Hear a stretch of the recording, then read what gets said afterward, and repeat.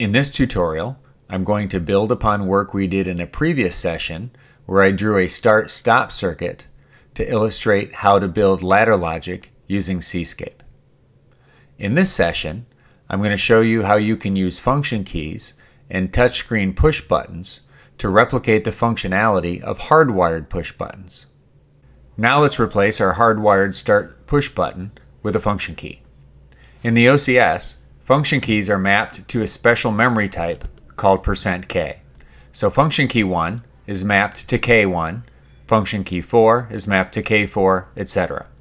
So all we have to do to replace this hardwired push button in the logic is just change the address from I1 to K1.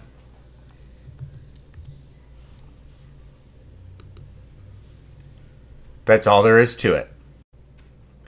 Now let's use a push button on the touchscreen instead of a function key as our start button. We're going to start by going to the graphics area in Cscape. What you see here is the screen editing area of an XL4, which is the controller I'm using in the project. Up here in the icon area, I'm going to go ahead and click on the switch object, then click and drag to the approximate size and location of my button. It doesn't have to be exact, I can always change it later. Now I double click on it to configure the button. Let's start with the address. Now in the case of a push button on the screen, it is not wired to a particular I.O. terminal, nor is it tied to a specific function key, so the address is flexible. It can be any available internal bit. Percent %t types are ideal because they are bit type memory addresses whose value is not retained through a power cycle, which is certainly not necessary for push buttons. I will assign T1, which is available. I will then give it a unique name.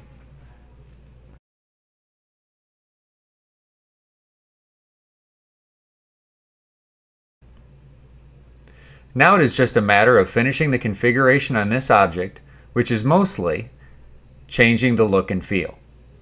Instead of a gray box, let's make it round and give it a 3D bezel. Let's also change its color. When it's on, let's make it bright green. When it's off, let's make it dark green. Now all that's left is to change the legend. Instead of button, let's have it say start.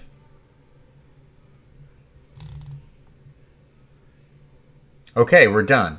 We've created a Start Push button on the touchscreen.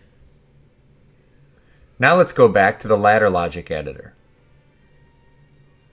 All that's left is to reassign the Start Push button to the touchscreen based button we just created. Let's find it on the list.